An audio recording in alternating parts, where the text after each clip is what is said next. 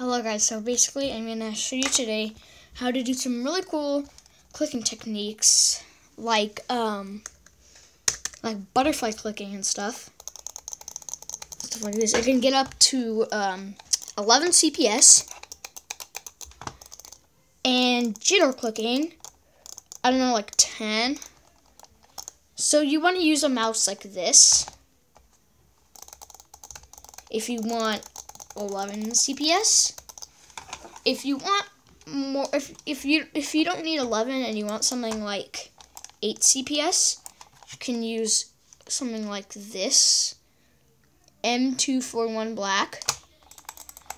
Pretty, I mean, it's kind of bad for, I mean, jitter clicking is complete trash, but if you were to butterfly click on this, you would get it's kind of good.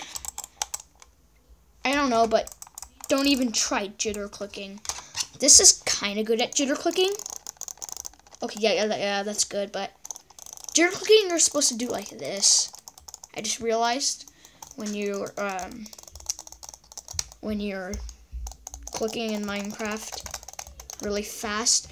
So just to um let you know, clicking fast in Minecraft Bedrock Edition doesn't have a doesn't um, really do anything unless you're in Java Edition.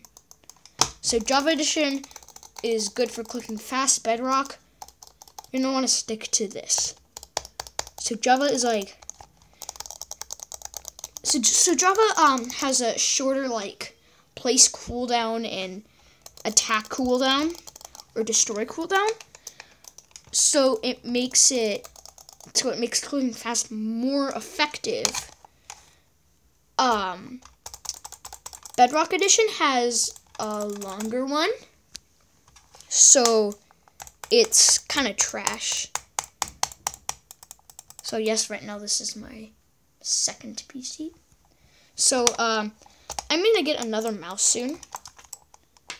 I'm gonna show you how good that will be, and we'll do some testing. So, uh, yeah, subscribe.